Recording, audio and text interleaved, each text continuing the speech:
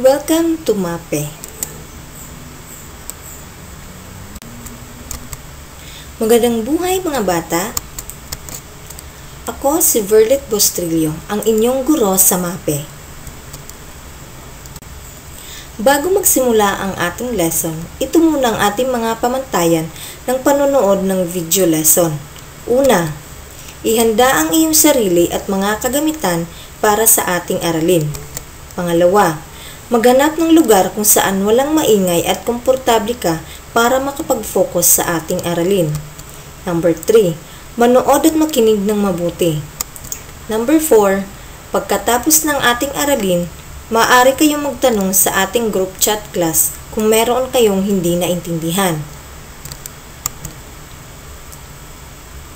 Ang ating aralin ngayon ay tungkol sa epekto ng sobrang paggamit ng mga drogang gateway.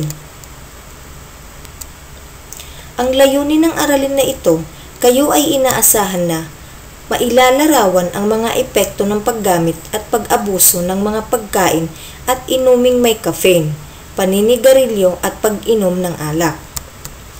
Nasusuri ang mga negatibong epekto sa kalusugan ng individual, pamilya at pamayanan ng paggamit at pag-abuso ng caffeine, tabako at alkohol. Balikan muna natin ang ating nakaraang aralin. Napag-aralan natin noon tungkol sa mga katangian ng drogang gateway na may sangkap ng caffeine, tabako at alkohol. Bago tayo magtungo sa ating bagong aralin, sagutan muna natin ang mga sumusunod. Panoto, ayusin ng tama ang mga letra sa gilid ng larawan upang mabuo ang mga sagot.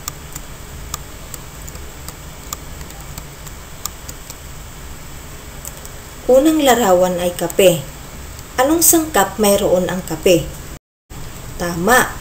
Ito ay may sangkap ng caffeine. Pangalawang larawan. Anong sangkap mayroon ang isang sigarilyo? Tama. Ito ay may sangkap ng nicotine. Pangatlong larawan. Anong sangkap mayroon ang isang beer? Tama. Ito ay may sangkap ng alkohol. Magaling mga bata. Ngayon naman, meron ako ditong mga larawan. Ano ang inyong napapansin sa mga larawan na ito? Tama. Ang unang larawan, ang babae ay umiiyak sa sobrang sakit ng ulo. At ang pangalawang larawan naman, ang babae ay may iniindang sakit sa katawan. At ang pangatlong larawan, may dalawang lalaki may sasakyan na nagbanggaan. Ano-ano kaya sa tingin nyo ang mga dahilan kung bakit mayroon silang iniindang sakit o mayroong aksidente nangyayari. Minsan, ang pananakit ng ulo, katawan at pagkasangkot sa mga aksidente ay ilan lang sa mga hindi magandang epekto ng pag-aabuso sa mga gateway drug. Sa araling ito, tatalakayin natin ang mga masasamang epekto ng bawat isa ipakikita at mga dahilan kung bakit madaling mahalinat at mga ang mga sumusubok sa mga ito at nalululong sa bisyo. Mahalagang bahagi ng aralin ito ang mga gawain na naglalayong mapalalim ang pag-unawa ng mga mag-aaral sa mga masamang epekto ng gateway drug. Ano kaya ang epekto ng caffeine sa katawan ng isang tao? Ang caffeine ay nakapagsisigla ng puso o central nervous system. Ito ay nagsisilbing stimulant o pampasigla. Tumutulong sa pagtunaw ng pagkain at pinalalaki ang daanan ng hangin patungo sa baga. Nakatutulong din ito para mapabilis o mapahusay ang mental performance. Subalit, ang sobrang caffeine sa paisang araw ay maaring magdulot ng isang hindi magandang epekto sa katawan particular na sa nervous system at mga kalamnan. Ito ang mga maaaring maranasan ng sobrang paggamit ng may caffeine. Ito ay ang mga sumusunod. Una, insomnia o hirap sa pagtulog. Pangalawa, pagiging nervyoso. Pangatlo, hindi mapakali. Pang-apat, pagiging irritable o madaling mainis. Panglima, paghilab ng tiyan. Pang-anim, mabilis na pagtibok ng puso. Pang-pito, panginginig ng mga kalamnan. Pang-walo, sobrang sakit ng ulo. At pang-siyam, madalas na pag-ihi. Ang pag-inom ng mga bata ng cola o soft drinks at pagkain ng tsokolate sa dakong gabi ay nakapagdudulot ng insomnia o hindi pagkatulog. Ito ang mga taong umiinom ng may caffeine. Ang unang larawan ay umiinom sila ng kape.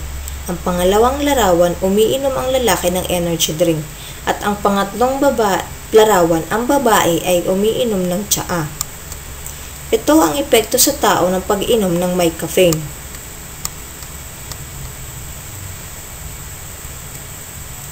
Ang mga larawan na nasa kanan ay nagpapakita ng mga negatibong epekto ng pag-inom ng mga inuming may caffeine. Ito ay pagsakit ng ulo, pagkabalisa, at pagkakaroon ng insomnia o hindi pagkatulog sa gabi. Sigarilyo at usok nito, iwasan mo. Sa kagustuhan madaling mapabilang sa isang grupo, napipilitang manigarilyo ang ibang matatanda maging ang mga kabataan na hindi alintana ang epekto nito sa kanilang katawan. Ayon sa pag-aaral, ang mga taong maagang nagsimula sa paninigarilyo ay mas maikli ang buhay kaysa sa mga taong hindi sinusubukan at hindi natututong manigarilyo. Ang mga taong naninigarilyo o first-hand smoke, ang mga taong papaligiran ng mga taong naninigarilyo o second-hand smoke at ang mga taong mahilig pumunta o mamamalagi sa lugar na pinagdadausan ng paninigarilyo o third-hand smoke ay malaki ang posibilidad na magkasakit dahil sa usok ng sigarilyo. Ito ang ilang halimbawa ng epekto ng paggamit ng sigarilyo. Inuubo, nalalagasan ng buhok, at pagkabulok ng ngipin. Ayon sa pag-aaral at pananaliksik, ang mga sakit na dulot ng paninigarilyo ay ang mga sumusunod. Una, sakit sa baga tulad ng bronchitis at emphysema.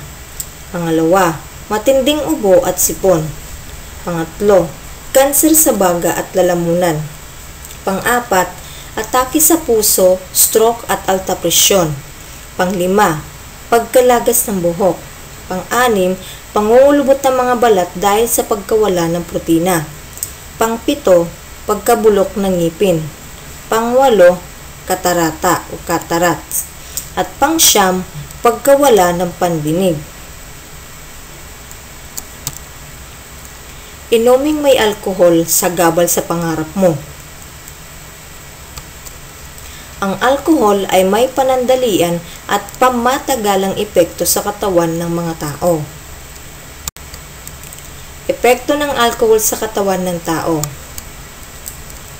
Ang epektong panandalian sa katawan ng tao ay ang nahihirapan umunawa at magpasya, nahihirapang magsalita, nawawalan ng balansi sa katawan, pananakit ng ulo at katawan pagkakaroon ng aksidente sa lansangan. Ang pangmatagalang epekto naman sa katawan ng tao ang paggamit ng alkohol ay ang pagkakaroon ng sakit sa atay o liver failure, pagkasira ng brain cells, pagkakaroon ng maraming asido na sanhi ng pagkasugat sa loob ng tiyan na maaaring mauwi sa pagdurugo. Nagdudulot ng high blood at sakit sa puso pagkasira ng lapay, nagdudulot ng epilepsy, obesity at sakit sa balat.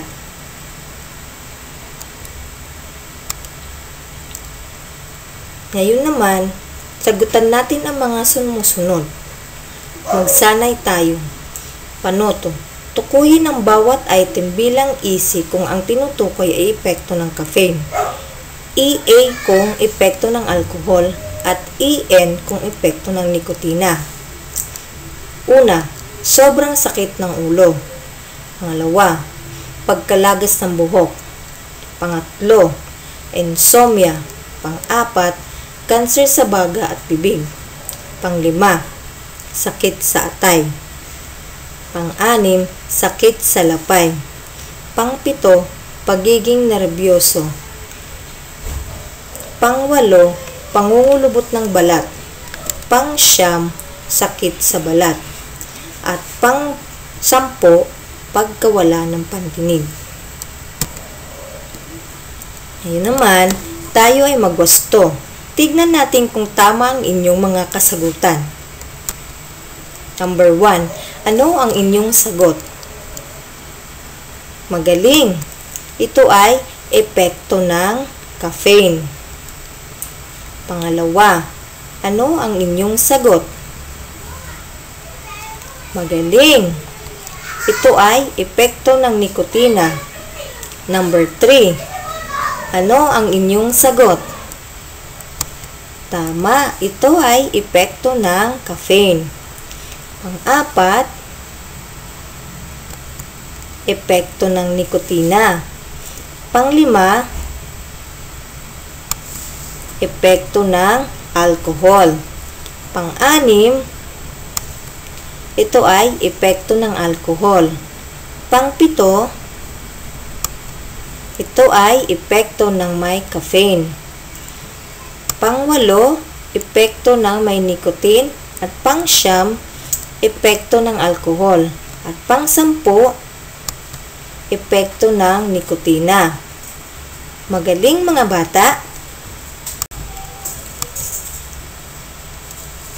Tandaan, ang caffeine, tabako at alkohol ay naglalaman ng mga sangkap na nakakahalina kaya't maraming nalululong sa paggamit ng mga ito.